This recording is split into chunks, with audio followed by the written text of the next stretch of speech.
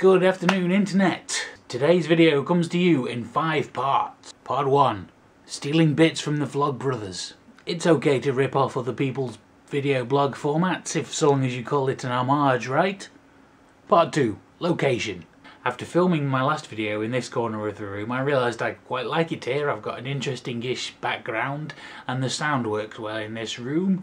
So I think for the time being, this is going to be my spot. Part 3. Origami. Did you see my video on Wednesday? It was a bit of a random idea I had for an ongoing series on this channel. I'll put a link over there somewhere to go and have a look at it if you've not seen it already. Of course half the video is me trying to figure out one of the more complicated folds that uh, I couldn't quite get right. Which probably isn't that great because that was supposed to be one of the easy ones and I've got another 38 to do in this book. And some of them are a lot more complicated. For example the grasshopper doesn't look particularly easy. But it does come with nice nice nice paper for each of the uh, models.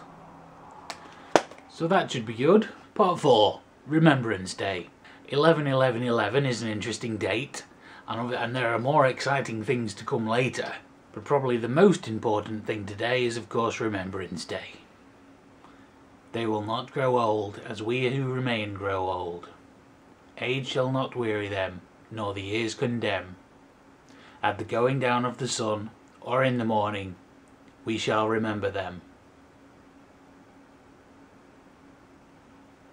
Part 5 Skyrim I got a big parcel this morning containing the super special collector's edition of uh, The Elder Scrolls V Skyrim. I didn't bother opening it on camera as that would have been a bit awkward because the package was huge, but there are some photos down in the description. I will just lift up this thing though, which was far bigger than I was expecting it to be.